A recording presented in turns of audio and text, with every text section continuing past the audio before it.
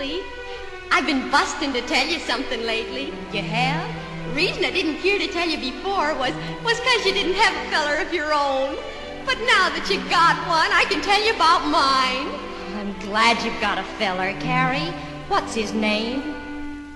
His name is Mr. Snow, and an upstanding man is he. He comes home every night in his round-bottomed boat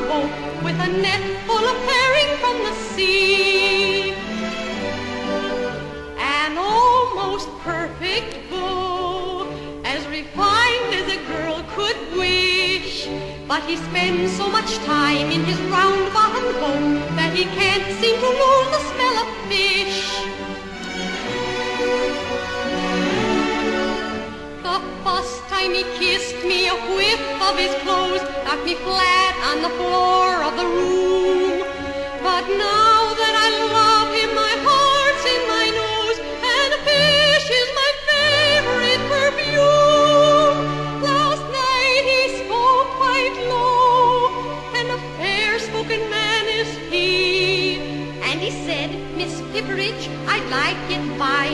I could be wed with a wife.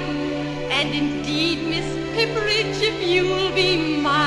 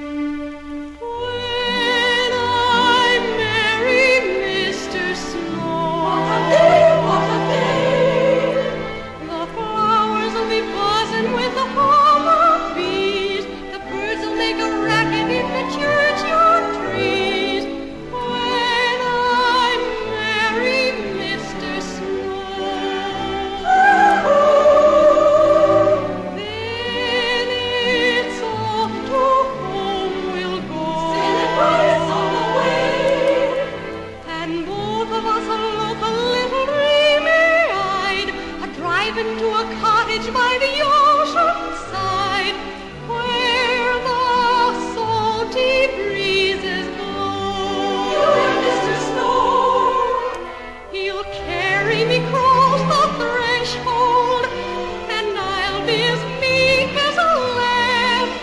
Then he'll set me on my feet, and I'll say kind of sweet, "Well, Mr. Snow, here I am."